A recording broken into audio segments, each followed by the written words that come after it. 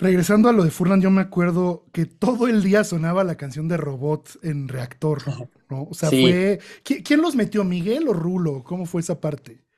Eh, eh, fue Rulo, diré, diré, ahí, te va, creo que eh, en esa época Rulo tenía su, su mail en el MySpace, lo tenía así, tenía puesto ahí como de contacto. Y me acuerdo, yo, yo, yo no conocía a Rulo, yo escuchaba Reactor, pero lo escuchaba a ciertas horas nada más. Pero Güero fue el que me dijo, este, así, ve, le, le, acabo de escribir a Rulo, le mandé este un mail, este, y pues a ver qué nos dice, ¿no? Y yo, ah, órale, ¿y él quién es, no? Ah, pues es el programa en las mañanas. Ah, pero es el, es el programador del reactor. Ah, órale, ¿no? Pues así. Y pues al día siguiente, sí, sí. Y, un, uno o dos días después nos respondió, este, nos puso tal cual. Por ahí tengo el correo, así lo guardamos. Decía, me encanta, lo programo.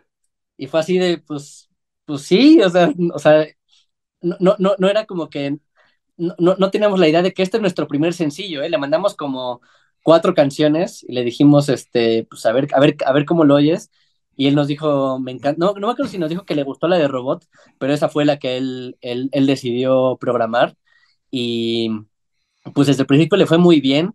Este, hubo comentarios por ahí como que decían que sonaba como babasónicos o que, o que no sabían de si era, si era una banda española.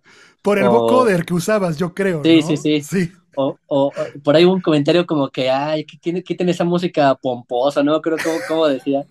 Y ahí como que me, me, bajoneaba un poquito, pero luego la, la, volvieron a poner y la empezaban a pedir y dije, órale, pues esto como que va, va muy bien. Y pues de repente en, en, pues e, ese fin de año de 2005 sonó un montón entró en la... y entró en, creo que en el lugar 80, algo así de, de, de aquel año de, de reactor.